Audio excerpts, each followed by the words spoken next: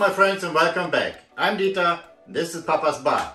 Hey I, uh, guys, I got something special today. As you can see, that is Rittenhouse Straight Rye Whiskey. Well, the name is kind of famous now. But if you guys watched the TV in the last few months, you have seen what happened there. This kid, the 17 year old, now 18 year old kid, uh, just had his trial and got found not guilty by the jury of his peers, and I leave it at that. Uh, when I saw that bottle, I said, well, I can't resist. You know, I, I, I, I gotta buy it and make a video. Uh, it is 100 proof, 50% alcohol, straight rye whiskey, Rittenhouse. And the special on here is bottled in bond.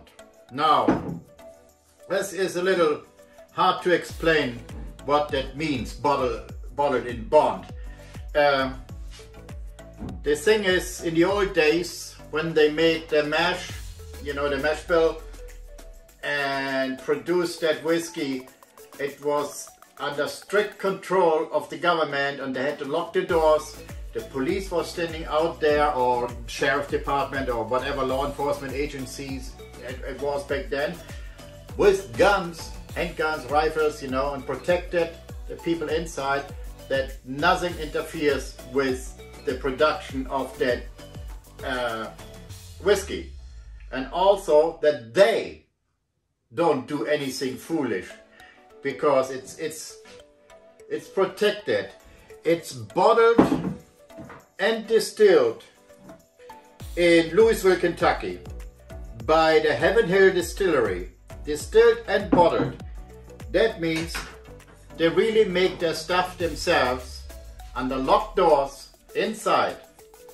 They do not get uh, a general whiskey delivered to their place like some distillery do that. They get their base uh, whiskey delivered then they put it in their own barrels, you know, and uh, uh, slap a label on later on after it's matured, whatever they want, want to get out of it, four years old, eight years old, 10 years old, whatever, you know.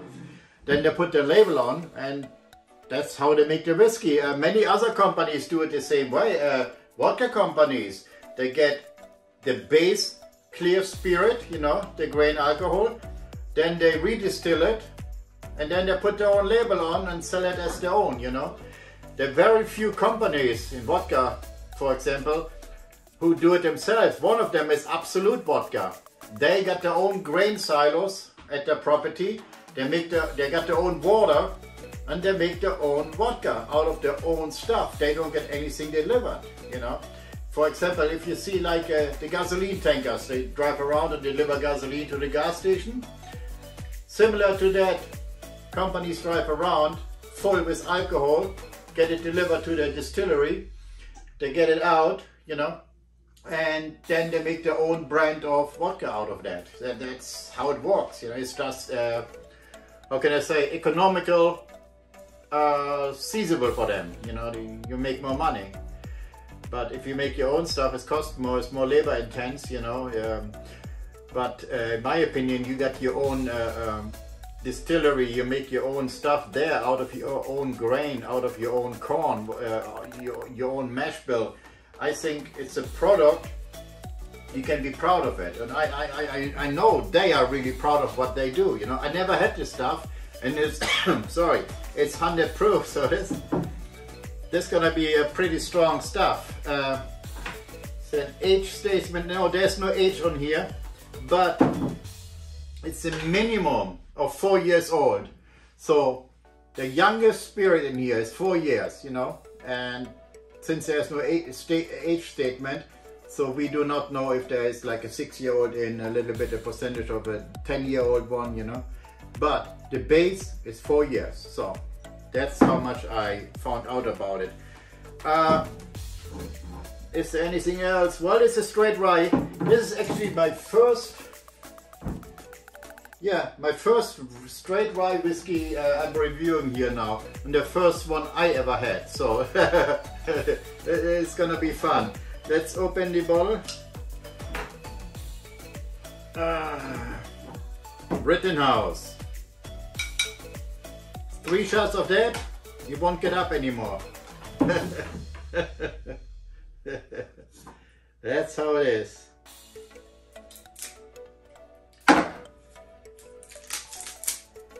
Alright, brand new bottle. Oh yeah, price point. I think it was like $32, so it's a little bit on the high side, in my opinion, for that Kentucky stuff. But, like they say, good stuff costs money, so we'll see. We'll see if it's good. Thank you for tuning in. I have to say that. I appreciate that. I appreciate all the new subscribers, you know. If you haven't subscribed to my channel yet, please do so. Tell your friends about it. The more subscribers I'm getting, so more videos I'm gonna make. That's all. Thank you, my friends. Plus, like the video. If you like the video, like it. If you don't like it, you know, thumbs down. Ooh, wow. I can smell it already. The color is very nice, if you can see that in the light here. Nice honey amber color, so that's really, really pretty. I like that. It looks nice. The bottle itself, a nice simple logo, 750 milliliters, 100 proof. You can't go wrong. All right, my friends, let's go to the nose. Oh, oh, oh. Yeah, that's whiskey. That's whiskey. The uh, mash bill, a combination of what's in here, it's a 51% rye, 37% uh, corn, and 12% uh, malted, um, malted barley. Wow. Now rye I know that for a fact the taste is gonna be intense because my vodkas I like, they're rye vodkas and you get the peppery taste, you know, and it's strong, which I like, you know. So I assume this would be the same in here. Okay, my friends, cheers for you guys. Rittenhouse, 100% rye. Cheers.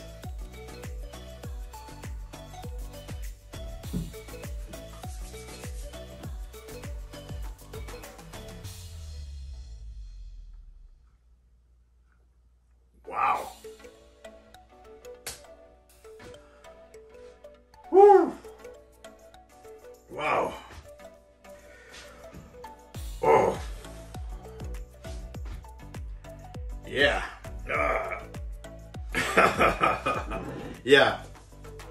That's what I call a whiskey. Wow. Mmm.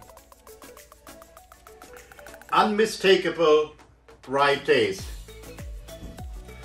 A very strong peppery uh, sensation on your tongue, in your mouth.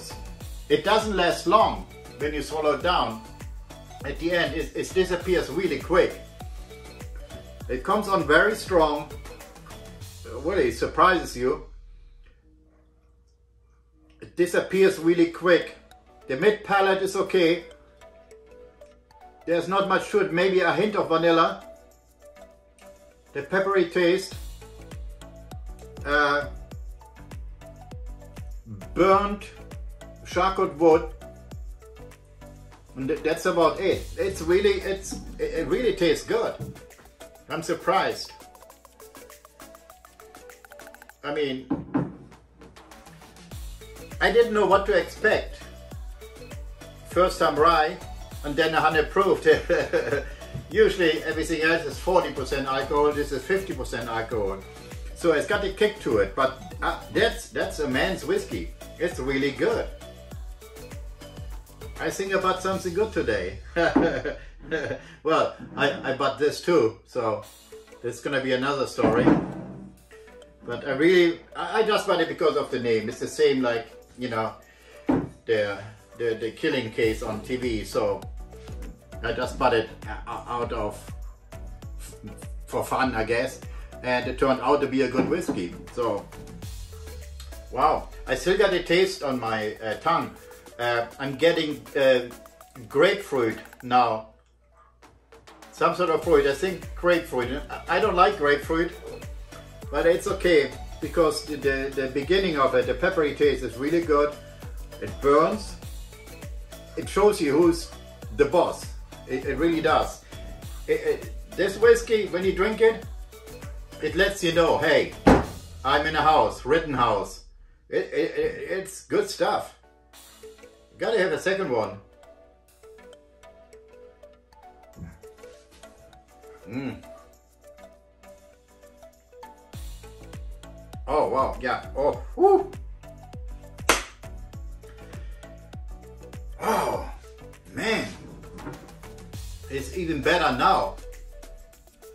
Wow.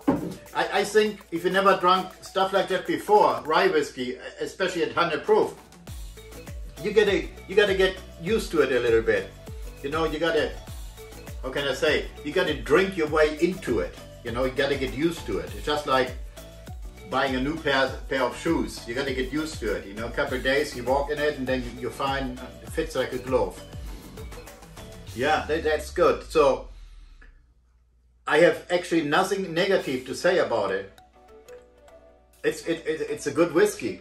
It looks good. It tastes good. It smells good. I'm getting kind of like blue cheese yeah, like blue cheese it smells. I wonder, I don't have water here. If you put a few drops of water in, I think it's gonna open up even more and you're gonna get more uh, uh, sensation, sensations out of it. It opens up. Uh, two three drops of water, I think, would make a difference too. You don't wanna put ice in, you know, or, or, or, or too much water. You don't want to dilute it down, then you know you lose the whole sensation. Or if you put in uh, ice, if you ice your whiskey, especially a hundred proof like that, you actually you numb you you, you numb what you want to get out of it. You know the flavors. So colder a whiskey gets, the less you taste it. Just like vodka, you know, you people put vodka into the freezer. Well, you know, yeah, the viscosity changes, you know, it gets thicker, but you taste poof, nothing anymore. You know, it's it's a waste of your evening, in my opinion, because whatever you drink, if it's whiskey, cognac, uh, vodka, you, you want to drink it to enjoy it. You want to find the flavors. You want to, you know, like me, the peppery taste, the vanilla taste, the oaky taste, you know, uh, the peated taste in, in whiskey. That's what you're looking for. That's what you want. You know, then you drink it. Mmm, it's nice. You know, you enjoy your evening. But if it's ice cold, you lost 80% of your flavors. You lost all of your nosing. You know, it's nothing there anymore. All you do is you get drunk. That's it. You get drunk without the experience of discovering what's in the bottle. That's what it's all about, in my opinion. Other people, they just drink, they want to get wasted, you know, fine, but that's not what this is all about. We want to find, you know, the taste, what, what's in it, you know, so it's an experience. You, you can say it like that, it's an experience. So my friends, uh, so if you see that bottle somewhere, I would recommend you go and try it out, you know. I don't know if they got little bottles, you know, to try out, like little Jack Daniels. like that, you know, that, that would be helpful if all the companies would make, uh, I don't know what you call them, drive bottles when you drive your car or whatever. I mean, uh, airplane, yeah, when you're on the airplane, airplane bottles, pocket bottles, whatever. They should make things like that for all, you know, so people can buy the small stuff, drink it and see if they like it. You know, and you don't buy something then you got the whole big bottle at home and you don't even like it. And you're never gonna drink it. And your friends, the smoochers, they drink it for you. the, the freeloaders. That's what you call them. Okay, my friends. Uh, on a scale of 1 to 10, I easily give it an 8.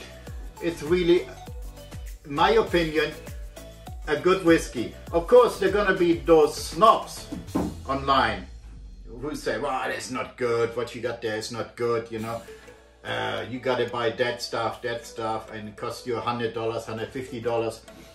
This is not what this channel is about, you know. I What I buy is what anyone else usually can afford. I do not go out and buy $300 bottle whiskey, $200 bottles whiskey, or vodka, cognac, uh, tequila and things like that. Because this is uh, snobby stuff in my opinion. And people like to brag, you know, oh, I only like that, you know, whatever whiskey, vodka, drink, whatever it is, you know, that's the best stuff, this is ghetto stuff. I, I laugh about people like that because in a blind taste, they wouldn't know anything. You know, they, they, we did it with uh, vodka. You know, everybody talks so big about Grey Goose. Grey Goose in every blind taste we did, lost. Grey Goose never came out number one. Smirnoff came out number one. But Grey Goose, never. Always, when we had like five, it was number four. If we had 10 different vodkas, it was in eight or seven, you know, down there. So don't tell me you buy something that's very expensive, it's, it's gonna be good. I think it's just like people with expensive fancy cars, you know? Oh, you drive your little, uh, you know, Honda Civic or whatever. I drive a Ferrari, Porsche, BMW, whatever, you know? it, it is laughable. It's not about the money. It's about who watches the channel the average person, that's what I'm focusing on. People who go to work from 8 or 7 in the morning till 5 or 6 in the evening, you know. It's not meant to be for high society, you know, for people who only buy something that's $500 and up. They don't even look at uh,